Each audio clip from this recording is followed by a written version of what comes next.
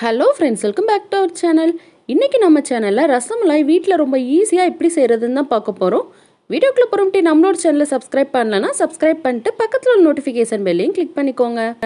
ரசமலாய் செய்கிறதுக்கு ஒரு முக்கால் லிட்டர் அளவுக்கு பால் எடுத்து நல்லா காய்ச்சிட்டு இருக்கேன். திக்கான பாலாக எடுத்துக்கோங்க.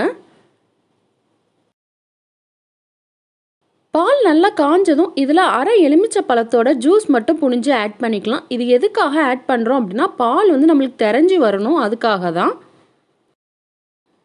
எலுமிச்சப்பழம் ஆட் பண்ணிவிட்டு நல்லா மிக்ஸ் பண்ணி விட்டுக்கோங்க. கொஞ்ச நேரத்தில் பால் நமக்கு நல்லா தெரிஞ்சு வந்துடும் பாருங்கள் இந்த அளவுக்கு வந்ததும் இப்போ நம்ம இதை வந்து வடிகட்டிடலாம். கீழே ஒரு பாத்திரம் வச்சுட்டு மேலே ஒரு துணி போட்டுக்கோங்க. இப்போ நம்ம ரெடி பண்ணி வச்சுருக்கிறது இதில் வடிகட்டிடலாம்.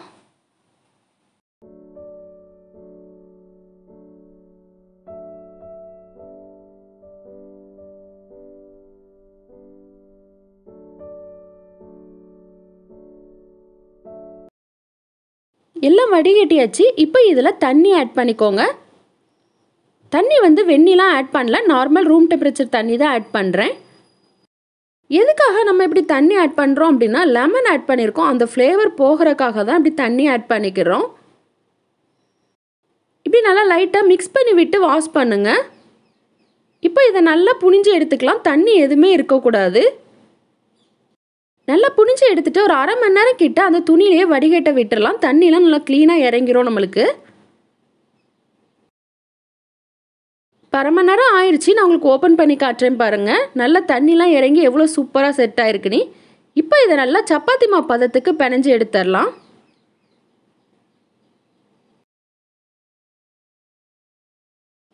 ஒரு பாதி அளவு பிணைஞ்சதும் இதில் ஒரு டீஸ்பூன் அளவுக்கு கார்ன்ஃப்ளவர் மாவை ஆட் பண்ணிக்கிறேன். கார்ன்ஃப்ளவர் மாவை ஆட் பண்ணிவிட்டு நல்லா பிணைஞ்சு எடுத்துக்கோங்க. எதுக்காக இதில் கார்ன்ஃப்ளவர் மாவை ஆட் பண்ணுறோம் அப்படின்னா அந்த சாஃப்ட்னஸ் வர்றக்காண்டி தான் நம்ம இதை நல்லா சப்பாத்தி மாவு பதத்துக்கு பிணைஞ்சாச்சு. நல்லா அழுத்தம் கொடுத்து பிணைஞ்சா மட்டும்தான் நம்மளுக்கு இப்படி வரும். இப்போ நம்ம பிசைஞ்சு வச்சுருக்கிறதுலேருந்து கொஞ்சமாக எடுத்து ஒரு சின்ன பால்ஸ் மாதிரி பிடிச்சி உள்ளங்கையில் வச்சு லைட்டாக இப்படி ப்ரெஸ் பண்ணிக்கோங்க. இப்படி நம்ம எல்லா மாவுலையும் செஞ்சு எடுத்துடலாம்.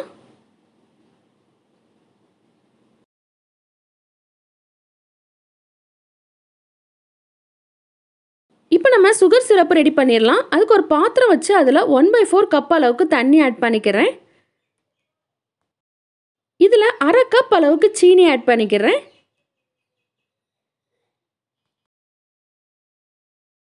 திருப்பி ஒரு அரை கப் அளவுக்கு தண்ணி ஆட் பண்ணிக்கோங்க. இப்போ இது நல்லா கொதிச்சு சீனி நல்லா கரைஞ்சி வரட்டு.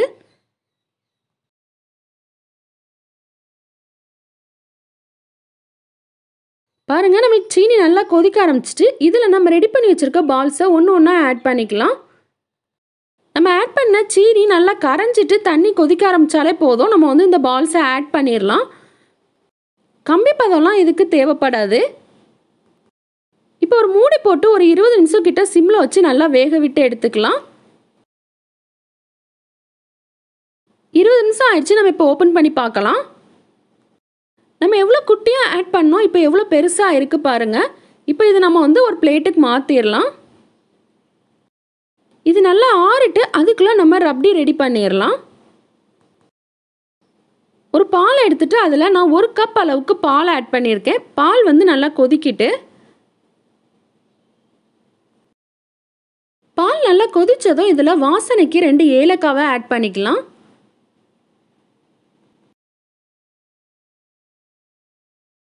இப்போ இதில் ஒரு பிஞ்ச் அளவுக்கு குங்குமப்பூ ஆட் பண்ணிக்கிறேன். குங்குமப்பூ ஆப்ஷனல் தான். ஆட் பண்ணோன்னா ஆட் பண்ணிக்கோங்க. இல்லைனா ஸ்கிப் பண்ணிக்கலாம்.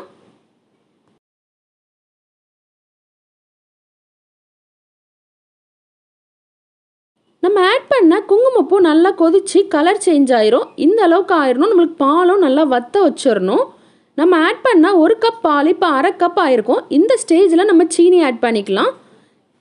சீனி உங்கள் இனிப்புக்கு ஏற்றாப்புல நீங்கள் ஆட் பண்ணிக்கோங்க. நான் மூணு ஸ்பூன் அளவுக்கு சீனி ஆட் பண்ணிக்கிறேன்.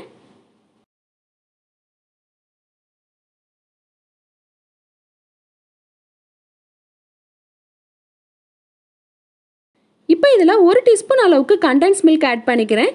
கண்டென்ஸ் மில்க் ஆட் பண்ணி பண்ணி பாருங்கள் டேஸ்ட்டே சூப்பராக இருந்துச்சு.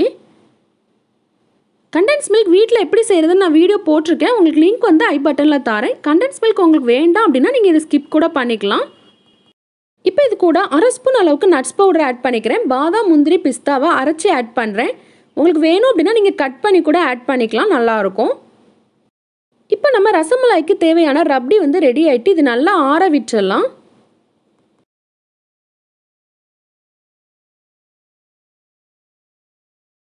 ரபடி நல்லா ஆறிட்டு இப்போ நம்ம இதை வந்து ஆட் பண்ணிடலாம். ஒன்று எடுத்து கையில் வச்சு ப்ரெஸ் பண்ணுங்கள் எக்ஸஸாக உள்ள சீனிப்பாவை வந்து வெளியே வந்துடும் இப்படி நம்ம ரெடி பண்ணி வச்சுருக்க எல்லாத்தையும் ரபடியில் ஆட் பண்ணிடலாம்.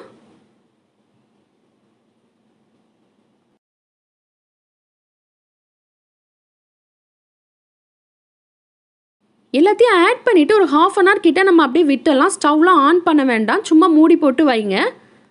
அப்போ தான் அந்த பால் வந்து நல்லா அந்த இதுக்குள்ளே இறங்கி சாப்பிடவே சூப்பராக இருக்கும்.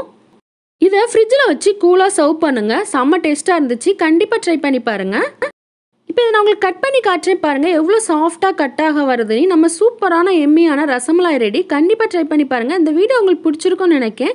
பிடிச்சிருந்த அந்த வீடியோக்கு லைக் பண்ணிவிட்டு உங்கள் ஃப்ரெண்ட்ஸ் அண்ட் ஃபேமிலிக்கு நம்மளோட வீடியோ ஷேர் பண்ணுங்கள் இந்த ரெசிபி நீங்கள் ட்ரை பண்ணீங்க அப்படின்னா அதை ஃபோட்டோ எடுத்து எனக்கு இன்ஸ்டாலேயோ மெயிலையோ சென்ட் பண்ணுங்கள் இதுவரையும் நம்மளோட சேனலை சப்ஸ்கிரைப் பண்ணலன்னா சப்ஸ்கிரைப் பண்ணிட்டு பக்கத்தில் உள்ள நோட்டிஃபிகேஷன் பெல்லையும் கிளிக் பண்ணிக்கோங்க. தேங்க்ஸ் ஃபார் வாட்சிங்